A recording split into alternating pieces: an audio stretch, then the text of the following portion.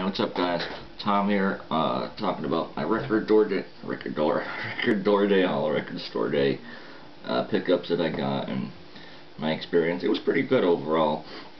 I'm kind of mixed on record store days. I'm, I'm sure a lot of a lot of people are. Um, I my store is really cool for the most part. Um, I uh, yeah, the line was a lot longer this year than uh, previous years. I keep hearing that a lot too and the list didn't really blow me away that much. There was a few things I wanted to get, and I got everything except for one thing, which I ended up getting afterwards. Um, at first, it popped up on eBay for around, I saw all the way up to like 200, and the record cost 30 bucks for a 3 LP set. So, originally though, there's no way I was paying that much. I ended up getting it for right about 30 bucks. With shipping was like 30 something, 34 I think, 35. So whatever, I don't, I don't mind paying that.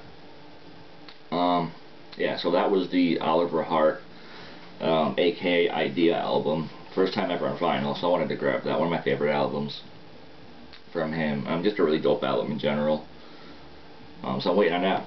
Probably gonna show that in my uh, one of my other updates. But yeah, grab four uh, record store day records couple non-record store day records and some free stuff. So let's get into it. I guess I'll start with the record store day stuff. First up, Sun Ra's. Uh, what is it called? Outer Spaceways? Yeah, Outer Spaceways Incorporated. Um, which is actually another album which I forget the actual name of. This is different artwork. Um, this is on like a white purple vinyl Very nice label, which is actually upside down. Yeah, um, I'm a fan of Sun Ra. Overall, I like his work, so. And this wasn't bad. This was like 18 bucks, I think. I don't have the prices on here anymore, but I didn't pay over, over, uh, like 20 or 22, I think, for anything, so. Uh, next up, did pick up the, uh, Gil Scott-Heron, Nothing New. Basically just stripped down, stripped back versions of previous tracks of his, um, XL recordings.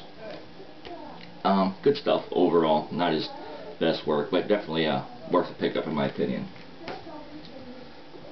After that, got a couple hip hop releases. Uh, OutKast first album, Southernplayalisticadillacmuzik.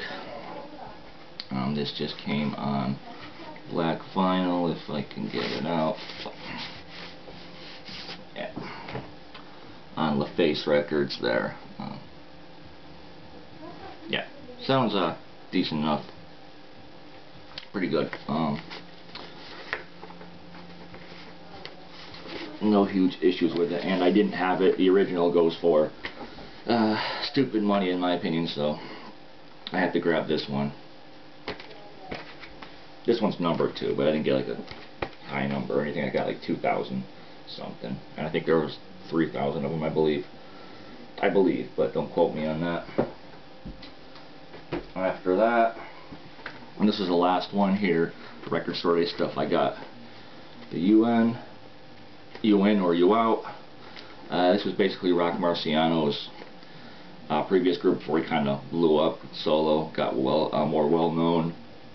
Um, production on here from Roc Marciano himself, Pete Rock, uh, Mic Raw, which is another uh, member of the group, Mahogany, and uh, Large Professor, Large Pro.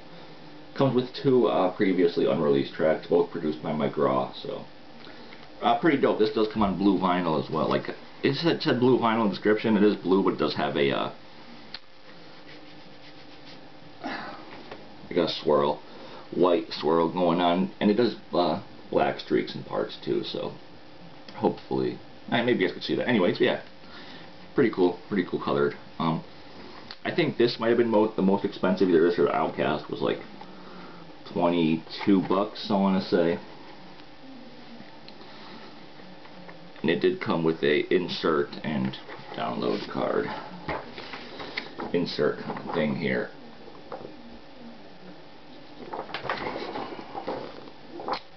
That. Yeah, I wanted this, this album for a while, so the original copies usually go for no less than 50. I've seen them for. I've never seen a copy for less than 50, I don't believe, so that was worth it. To me, at least. So that was it, except for the Oliver Hart, Oliver Hart, which I have coming. Um, I'll show that in a upcoming release. Sorry, drinking coffee. It's still morning time. Happy Sunday, by the way. Happy Easter. Whatever you guys celebrate. 420. I think it's 420 today. So I got some uh, couple non-record story items here as well. Show those real quick. First up, Gil Scott Heron and Brian Jackson, Winter in America. Been after this one for a while for a decent price. Um, didn't want to pay the usual, whatever it usually goes for. I think it usually goes for 30 bucks in decent condition, if not more. Uh, maybe less, but I think it was about that. Um, gatefold. I got this for five bucks. You guys don't believe five bucks, just because. See that? Just because uh, it had a slight warp in it. But uh, it plays, plays fine, no problem. Vinyl looks nice, so. Uh, Strata East label. Once again, as I've mentioned, I'm collecting that label. This might be the best known album on that label, and definitely a great, great album in general.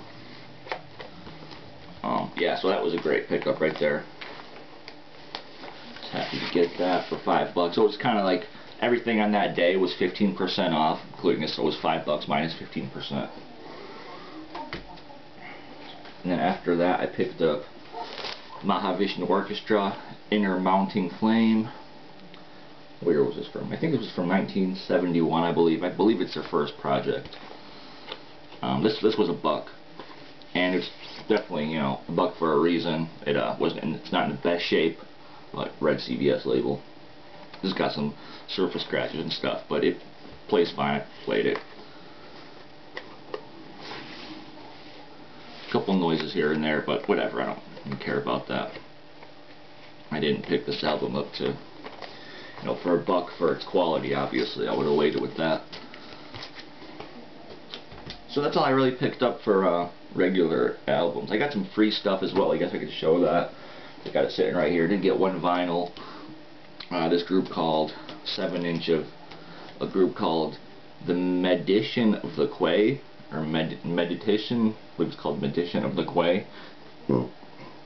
Someone I'm not familiar with. Um, it says promo out of 200s. I guess it was originally numbered or supposed to be numbered or whatever. Uh, the tracks are Not Me and We Live in a Haunted House. Um, definitely some interesting looking fellows right there in the back. Haven't listened to it yet, so I have no idea what it sounds like, but you got four guys. Uh, David Elliott guitars, vocals, tambourine. Justin A. Martell on keyboard, vocals, backing vocals. Nick Lombardo, bass and backing vocals. And, oh, and the last guy's featuring Evan Miller. Evan Miller as Mike Jackman, so I guess he's pretending to be someone else on drums and backing vocals. So, I don't know what's up with that. Um, yeah, and that's the only piece of vinyl I got for free. Um, I wasn't like at the beginning of the line or anything either, so.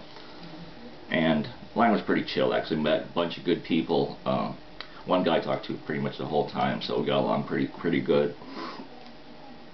Um, got the Selecto Hits free CD that you probably get every single year, and I've never been really excited about this. I, this CD kind of sucks in my opinion. Nothing good on here. But if anyone wants that, I guess let me know.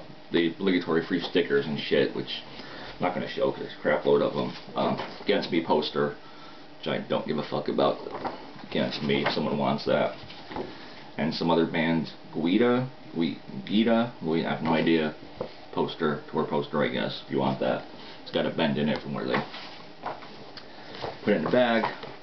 Um, oh, I did get a free t-shirt from uh, like a record label slash uh, local booking agency or whatever around here. Um, Brass City Boss Sounds. Pretty nice t-shirt though, I'm gonna say. 2XL, so pretty nice. Did like that. That was pretty cool.